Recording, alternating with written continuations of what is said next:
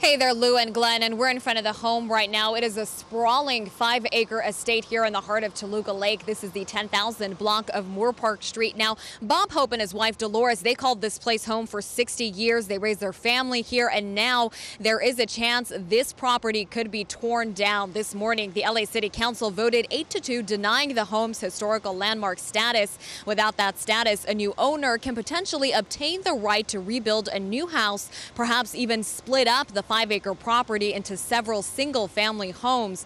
Hope's daughter, Linda, has been trying to sell the estate for several years, but has been unsuccessful. She initially listed it for 27.5 million in 2013, but since then the land has been split up with one portion of it going for 10 million dollars and the other for 12. Councilman David Ryu has been trying to preserve this property and um, give it that historical landmark status after he heard about potential buyer requesting a demolition permit. Now, many residents in this neighborhood neighborhood we spoke to say they are against the decision made today. They say the home is iconic and part of Toluca Lake's rich history. They would like to perhaps see it turned into a museum. On the contrary, the city's Cultural Heritage Commission voted against the monument status, saying that the property itself does not have any historical significance. It is owned by the Dolores Hope Trust, his daughter hoping to get $20 million for it. She says the money will go toward her father's charities the way he would have wanted it in his will.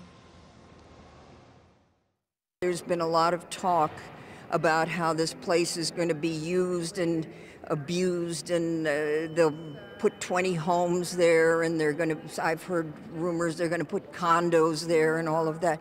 That is not going to happen.